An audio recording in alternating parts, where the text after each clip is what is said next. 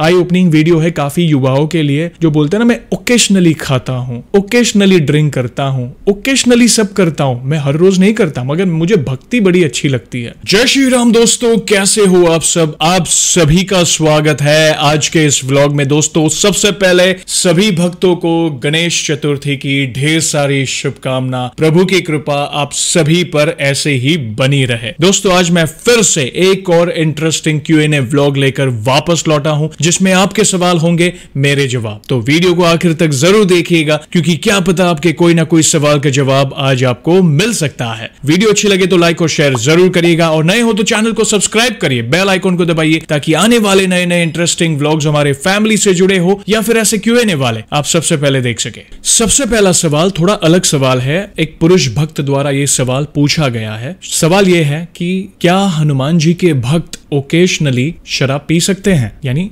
Drink कर सकते हैं। आपके विचार बताइए। अगर आप मेरे विचार पूछोगे तो मैं इतना ही कहूँगा कि मैं तो पहले भी मैंने आपसे कहा है कि मैं नॉनवेज खाना हो या व्यसन हो, इन चीज़ों को कभी भी प्रोत्साहित नहीं करता हूँ। लोगों को यही कहता हूँ कि आप मत इनका सेवन करें, कभी भी उस मार्ग पे मत जाए, क्योंकि ये सारी चीज़ें आपको भगवत भक्ति के मार्ग पर बाधा उत्पन्न करेगी। ये सब तामसी चीज़ें हैं। नॉनवेज खाना हो या ड्रिंक्स करना हो स्मोक करना हो नेगेटिव एनर्जी बहुत अट्रैक्ट होती है इन सब चीज़ों से। और क्या कभी किसी का भला हुआ है व्यसन करने से आप मेरे को ये बताइए। नहीं हुआ है। होता है कई बार हमें अपनी इंद्रियों को वश में करना कठिन हो जाता है। अगर हमें वो आदत है, व्यसन है, काफ़ी सालों से हम वो चीज़ करते आ रहे हैं तो सडनली कई कई लोग एक दिन में भी बंद कर देते और कई लोगों के लिए कठिन हो जाता है। पर एटलीस्ट आप उसे बंद करने का प्रयास तो करें। ये तो वैसे ही बात हुई कि जैसे मैं नॉनवेज तो खाता हूँ, मगर मंगलवार के दिन नहीं खाता हूँ, या फिर ओकेशनली खाता हूँ। तो ये क्या बात हुई? पाप तो कर ही रहे हो ना वैसे? आप किसी जीव की हत्या करके उसे ग्रहण कर रहे हो। व्यसन करना अच्छी बात नहीं है। अपनी इंद्रियों पर कंट्रोल रखो। होता है, आपके फ्रेंड्स होंगे, अरे चलना पार्टी करते हैं, आज मेरा बर्थडे पार्टी अरे क्यों भाई? पार्टी करनी है भग, अगर आपको अपना जन्मदिन मनाना भी है ना तो घर के फैमिली के साथ मनाओ। अच्छे कार्य में उस टाइम को स्पेंड करो दान करो सेवा करो मंदिर जाकर प्रभु के साथ अपना जन्मदिन मनाओ उनकी शरण में अपना जन्मदिन मनाओ। तो बहुत सारे और भी ऑप्शन है जो आपको सुकून मिलेगा प्रभु अपना सुकून आपको प्रदान करेंगे। ड्रिंक करने से क्या होगा? सेहत खराब होगी प्रभु भक्ति के मार्ग पर बाधा आएँगी प्रभु से दूर हो जाओगे या अड़चन पैदा करेगी। तो जो चीज़ प्रभु भक्ति के मार्ग पर अड़चन पैदा करे प्रभु से हमें दूर करे तो उन चीज़ों को क्यों अपनाना? आई ओपनिंग वीडियो है काफ़ी युवाओं के लिए, जो बोलते हैं ना, मैं ओकेशनली खाता हूँ ओकेशनली ड्रिंक करता हूँ ओकेशनली सब करता हूँ, मैं हर रोज नहीं करता, मगर मुझे भक्ति बड़ी अच्छी लगती है। तो प्लीज़ उन चीज़ों को छोड़ दीजिए, क्योंकि ओकेशनली करना या फिर रोज करना, गलत चीज़ तो कर ही रहे हो ना उससे अच्छा छोड़ दो, बिल्कुल छोड़ दो वो मार्ग, देखना प्रभु भक्ति में अच्छे कर्मों में आपको बहुत सुकून मिलेगा। उन चीज़ों की तलब बिल्कुल नहीं नहीं लगेगी। तलब कर, लगानी है तो प्रभु भक्ति की लगाओ अच्छे कर्मों की लगाओ। किसी की सेवा करके जो सुकून मिलेगा ना आपको निस्वार्थ भाव से किसी की सेवा करके देखो देखना बहुत सुकून मिलेगा। अच्छी नींद आएगी ये सब चीज़ से कुछ नहीं होगा। उल्टा आपका जो माइंड है वो गलत चीज़ों के लिए आकर्षित होगा। बस इन चीज़ों का ध्यान देना। तो ये था आपके सवाल का जवाब। दूसरा सवाल बहुत ही इंपॉर्टेंट सवाल है ध्यान से सुनिएगा। एक महिला भक्त द्वारा ये सवाल पूछा गया है। उन्होंने मुझसे पूछा कि, जयेश भैया, हमारे घर के मंदिर में भगवान के सामने नित्य भोग लगाते हैं? तो भोग लगाने के बाद हम उस भोग का क्या करें? प्रभु को जो भोग लगाते हैं, उसका हम क्या कर सकते हैं? अगर आप मेरे विचार पूछोगे, हमारे घर में जो होता है, वो आपको मैं बताता हूँ। जैसे हम रेगुलर हमारे घर में प्रभु को हम थाल अर्पित करते हैं पूरा भोग, जैसे सब्ज़ी, रोटी चावल, दाल, मिष्ठान, सालड मतलब एक प्रॉपर हम पूरा भोग प्रभु को हम अर्पित करते हैं, तुलसी दल ऐड करके। पानी का ग्लास, जल का ग्लास, जल के पात्र में तुलसी दल डालकर। प्रभु को भोग लगाने के बाद वो थाल हम वापस लेते हैं तो हम क्या करते हैं? फिर हम भोजन करने बैठते हैं सारे फैमिली मेंबर्स तो जो दाल की वाटी होती है, उसे हम, जो मेन पतीला होता है दाल का, जिसमें पूरे घर की दाल होती है, उसमें ऐड कर देते हैं। चावल को चावल में ऐड कर देते हैं, सब्ज़ी को सब्ज़ी में, रोटी को रोटी में सब बांट लेते हैं, ताकि वो प्रसाद रूप हर एक मेंबर ग्रहण कर सके। तो ये हमारे घर में हम ये नित्य करते आ रहे हैं। तो ये एक चीज़ आप कर सकते हैं, या फिर आप गौ माता को भी उस भोग को अर्पित कर सकते हैं। जैसे हम कई बार घर में देवी माँ का नैवेद्य बनाते हैं तो हम गौ माता को अर्पित कर, जैसे खीर, रोटी हो, आप प्रसाद रूप में भी ले और गौ माता को भी आप अर्पित कर सकते हैं।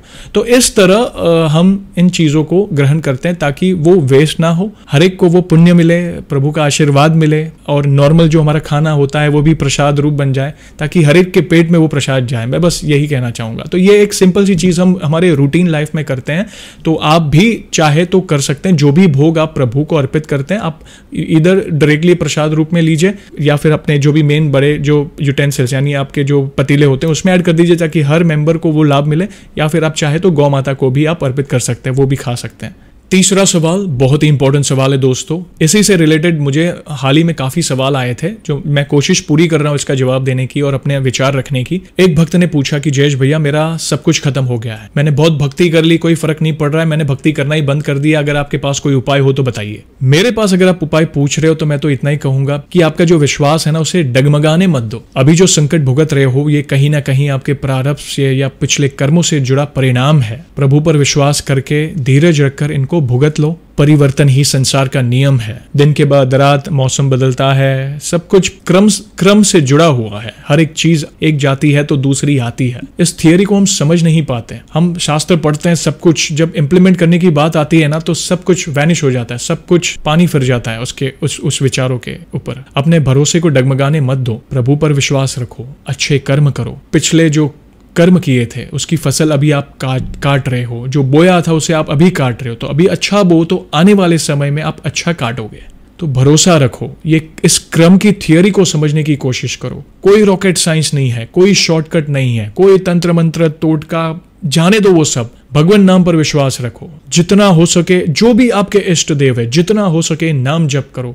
चालीसा का पाठ करो। स्तुति करो। जो भी आपको, आपके जितना समय मिल रहा है, चलते, फिरते, उठते, बैठते, प्रभु के नाम का स्मरण करते जाओ। देखना, प्रभु आपकी सहायता करने ज़रूर आएँगे। देखा है ना, हमारे जो मेन चैनल है कैसे कैसे अनुभव आते हैं? बड़े बड़े असंभव कार्य संभव होते हैं प्रभु की शरण में जाने से। तो गिव अप मत करो। गिव अप करना सबसे बड़ा पाप है। मैंने पहले भी, पिछले व्लॉग में कहा था शायद से कि यह सोचना पाप है कि सब कुछ खत्म हो गया। जब तक आपके शरीर में प्राण है ना तब तक कुछ खत्म नहीं हुआ। अब बहुत कुछ कर सकते हो। कई कई बड़े बड़े भक्त हैं जिन्होंने प्रभु भक्ति के मार्ग पर, प्रभु पर भरोसा रखा, धी, अपने धीरज को डगमगाने नहीं दिया, अच्छे कर्म पर विश्वास रखा तो वे फर्श से अर्श तक पहुँच गए। वो कहता है ना, जब भक्ति का वो बीज में से अंकुर निकलने वाला होता है, जो वो स्प्राउट फूटने वाला होता है हम सही में भक्ति कर रहे हैं, कर रहे हैं।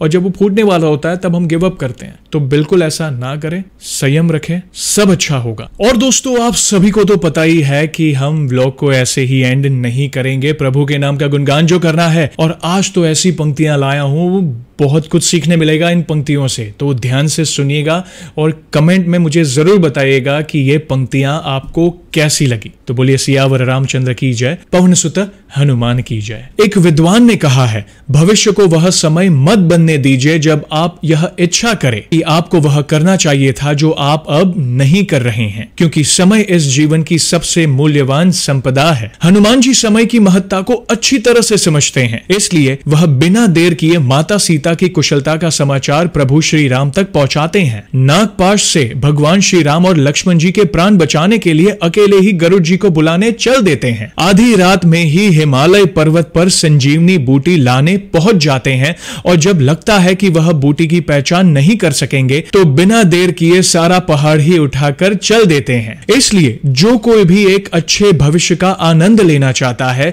उसे हनुमान जी के जीवन से शिक्षा लेते हुए अपने वर्तमान के एक क्षण का भी दुरुपयोग नहीं करना चाहिए, क्योंकि वक्त ही ज़िंदगी है। बहुत ही पावरफुल पंक्तियाँ दोस्तों, और मैंने पहले भी काफ़ी बार कहा है, हनुमान जी की पूजा अर्चना तो कीजिए मगर हनुमान जी के जीवन चरित्र को भी ध्यान से समझिए और उसे अपने जीवन में उतारने की कोशिश कीजिए, क्योंकि हनुमान जी के जीवन चरित्र से हमें बड़े बड़े लाइफ लेसन मिलते हैं। उनमें से एक लाइफ लेसन ये था। वीडियो अच्छी लगी हो तो लाइक और शेयर ज़रूर करिएगा। अपने विचार कमेंट के माध्यम से बताइएगा। अपने सवाल भी आप मुझे कमेंट के माध्यम से पूछ सकते हैं, जिसके उत्तर में कोशिश पूरी करूँगा कि अपने क्यू एन ए सेशन में दूँ। और नए हो तो चैनल को सब्सक्राइब करिए बेल आइकन को दबाइए ताकि आने वाले नए नए इंटरेस्टिंग व्लॉग्स हमारे फैमिली से जुड़े हो या फिर ऐसे क्यू एन ए वाले आप सबसे पहले देख सके। और जल्द ही लौटूँगा मैं एक और इंटरेस्टिंग ब्लॉग के साथ। तब तक जय श्री राम जय हनुमान।